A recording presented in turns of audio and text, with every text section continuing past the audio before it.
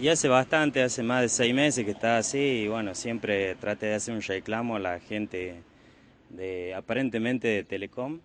Y bueno, no, nunca vinieron a verlo, nada. Está a punto de caer, se puede caer por la avenida y va a ser eh, algo que puede producir hasta una muerte a una persona. ¿no? Esto cae y, si llega a caer a la avenida, o sea, eh, alguien puede eh, tener una terrible consecuencia teniendo en cuenta, vos te darás cuenta que está pegadito a la avenida, ahí nomás, no hay demasiada diferencia y esto genera también este peligro, ¿no? Sí, la verdad que sí, así que... Además de los cables, ¿no? Que, va a ser un lío.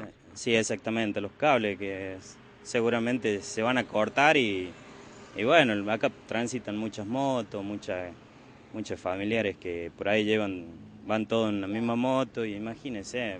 Ahora, estoy viendo que hay mucha basura en esta zona. Eh, ¿Cuál es el problema? ¿Contenedores? Eh, ¿No pasa el recolector? ¿Cuál es el tema? Sí, la verdad que haría falta un contenedor que coloque en esta zona para que la gente, bueno, eh, no trate de, tirar la, la, basura ahí en el piso, porque es otra de, la, de las causas que por ahí producen que los postes se, se deterioren por tanta basura. seguramente este poste, no sé, Carly, también me parece que lo pueden haber, también pueden haber provocado algún fueguito ahí, quemar un poquito de basura y así empezó a comerse, ¿no? Sí, aparentemente sí, está como quemado, pero está bastante, eh, muy, muy quemado, hueco, sí, está podrido abajo, así que en cualquier momento cae eso, así que no, que venga alguien que haga, que haga algo, porque no hay que esperar que pase para que soluciones. Ariel, comentame un poquito cómo nos ubicamos eh, con las calles.